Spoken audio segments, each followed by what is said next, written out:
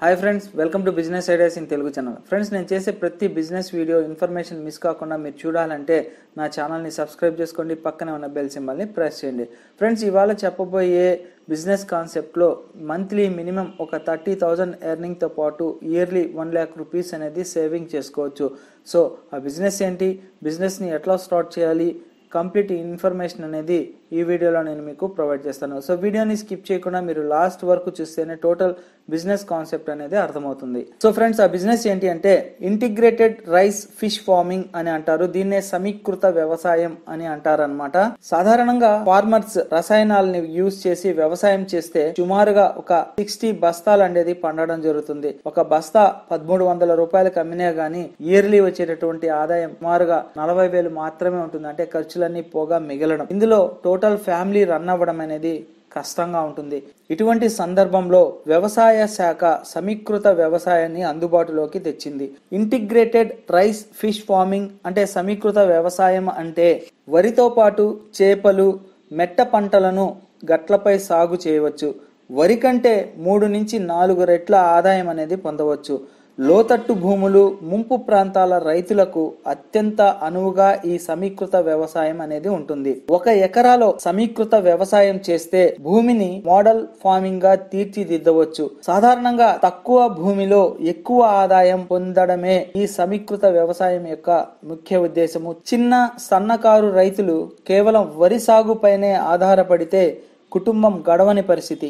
ఎకరం రెండు ఎకరాల భూమి ఉన్న రైతుకు ఏడాదికి సుమారుగా పదిహేను వేల నుండి నలభై వేల ఆదాయం మించడం లేదు. దీంతో పక్క భూముల్ని కౌలికి తీసుకోవడం లేదా ఇతర పనులతో కుటుంబాన్ని నెట్టుకు రావాల్సి వస్తోంది. వ్యవసాయ శాఖ ఆత్మ ప్రాజెక్ట్ ఆధ్వర్యంలో సమీకృత వ్యవసాయాన్ని ప్రోత్సహిస్తున్నారు. ఈ విధానంలో వరితో పాటు పొలం చుట్టూ కందకం త్రవ్వి చేపల్ని పెంచవచ్చు.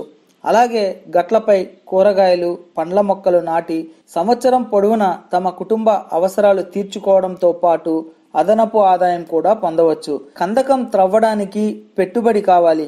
ఈ సమీకృత వ్యవసాయాన్ని ప్రోత్సహించేందుకు వ్యవసాయ శాఖ ఆధ్వర్యంలో ఇరవై ఐదు వేల నుంచి యాభై వేల వరకు రాయితీ వస్తుంది.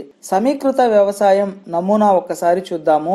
ఎకరం భూమి నమూనా ఎలాగో తెలుసుకుందాం. అరవై సెంట్లలో వరి సాగును ఇరవై సెంట్లలో కందకం తవ్వి అందులో చేపలను ఇరవై సెంట్ల గట్లపై మెట్ట పంటలు అంటే కూరగాయలు అలాంటివి వేసుకోవచ్చు అనమాట కందకాన్ని సుమారుగా లోతు ఎనిమిది అడుగులు తీయాలి వెడల్పు రెండు మీటర్లు ఉండాలి. అలాగే గట్టు వెడల్పు వచ్చేసి రెండు నుంచి రెండు పాయింట్ ఐదు మీటర్లు అనేది ఉండాలి. ఇక చెరువులో వదిలేటటువంటి చేపలు సుమారుగా వంద నుంచి వంద గ్రాముల వరకు మనం వేయవచ్చు. ఇరవై సెంట్లలో సుమారుగా పన్నెండు వందల చేపలు వేయాలి. చేపలలో మనం శీలావతి కట్ల రెండు రకాల చేపలను వేయవచ్చు. ఇందులో కట్ల నాలుగు వందలు శీలావతి ఎనిమిది వందల చేపలు అంటే సుమారుగా రెండు కలిపి పన్నెండు వందల చేపలు వేస్తే కేవలం రెండు నెలల్లో వంద గ్రాముల చేప మూడు వందల గ్రాముల నుంచి ఐదు వందల గ్రాముల గ్రోత్ అనేది వస్తుంది. మామూలుగా ఇంత గ్రోత్ అనేది ఉండదు.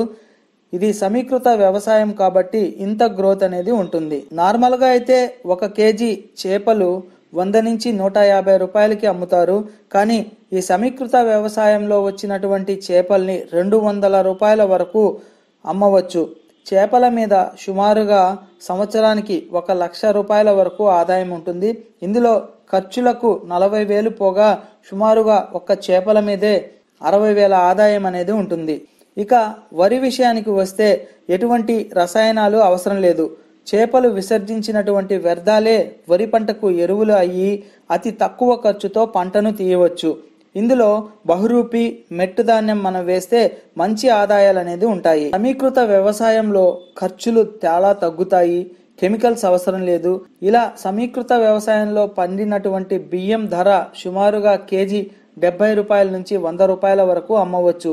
ఇది ఒక అదనపు ఆదాయం అన్నమాట చేపల మీద వచ్చే ఆదాయం ఎక్స్ట్రా ఉండగా వరి ద్వారా ఇంట్లోకి ఉన్నటువంటి అవసరాలన్నీ తీరుస్తూ ఆదాయము లక్షకు పైగా ఉంటుందన్నమాట. ఈ విధంగా సమీకృత వ్యవసాయంలో మనకి వరి మీద వచ్చేటటువంటి ఆదాయమే కాకుండా చేపల మీద అలాగే మెట్టు పంటలను పండిస్తే గట్లపై సాగు చేస్తే అందులో వచ్చేటటువంటి కూరగాయలు మనం వాడడమే కాకుండా బంధువులకి కూడా ఇవ్వవచ్చు. సో ఈ విధంగా మీకు సమీకృత వ్యవసాయంలో సంవత్సరానికి లక్ష రూపాయల వరకు ఆదాయం అనేది ఉంటుందన్నమాట.